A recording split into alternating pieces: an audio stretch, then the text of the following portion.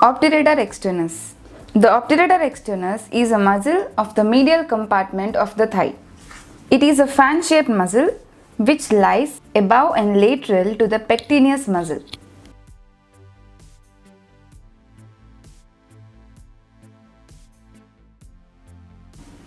For a video on the muscle pectineus, you can click on the I button.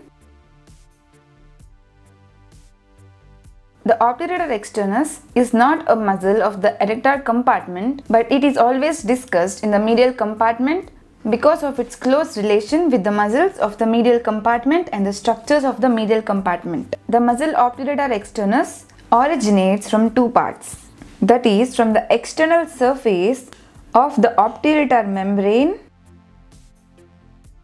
which covers the obturator foramen and from the adjacent surfaces of the pubis ischium which lies around to the obturator foramen. So this is the origin of the obturator externus muscle.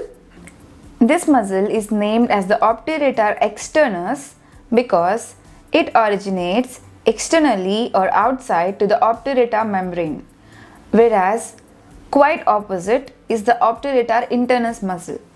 It originates behind or backside to the obturator membrane and thus that is called as the obturator internus. The muscle obturator externus originates from the external surface of the obturator membrane.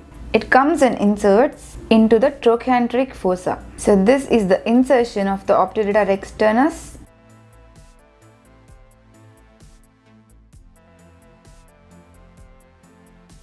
So it originates from two parts that is the outer surface or the external surface of the obturator membrane and the second site of origin is from the adjoining part or the adjoining surfaces of the pubis and ischium around to the obturator foramen.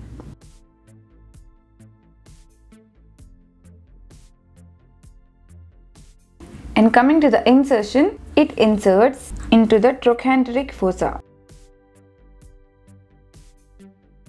During the insertion, the fibers of this muscle converge backward and laterally to form a tendon. So here a tendon is formed which then spirals upwards over the inferior and posterior surfaces of the neck of the femur and then it is inserted into the trochanteric fossa which lies on the greater trochanter of the femur. And coming to the nerve supply, it is supplied by the posterior division of the obturator nerve.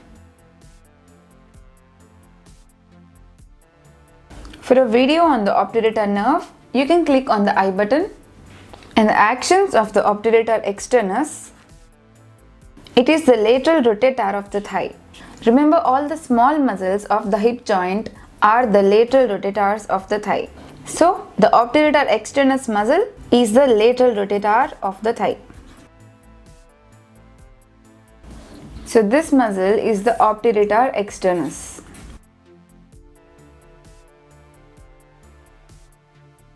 Let's talk about it once again. The obturator externus is a fan-shaped muscle which lies above and lateral to the muscle pectineus. The obturator externus is not the muscle of the medial compartment but it is often described in the medial compartment because of its relation to the muscles of the medial compartment and the structures of this medial compartment. Now coming to the origin of this muscle, it originates from two parts. The first part is from the external surface of the obturator membrane so that is why this muscle is named as the obturator externus, whereas the second part of the origin is from the adjacent surface of the pubis and the ischium which are around to the obturator foramen.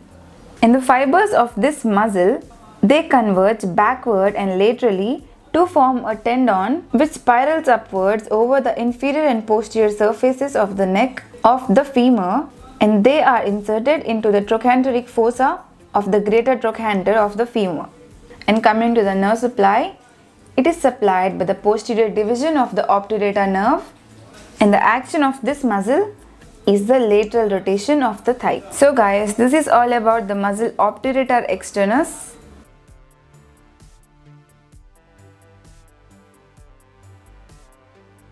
If you like this video, do subscribe to my channel. And do check onto my recent videos and playlists.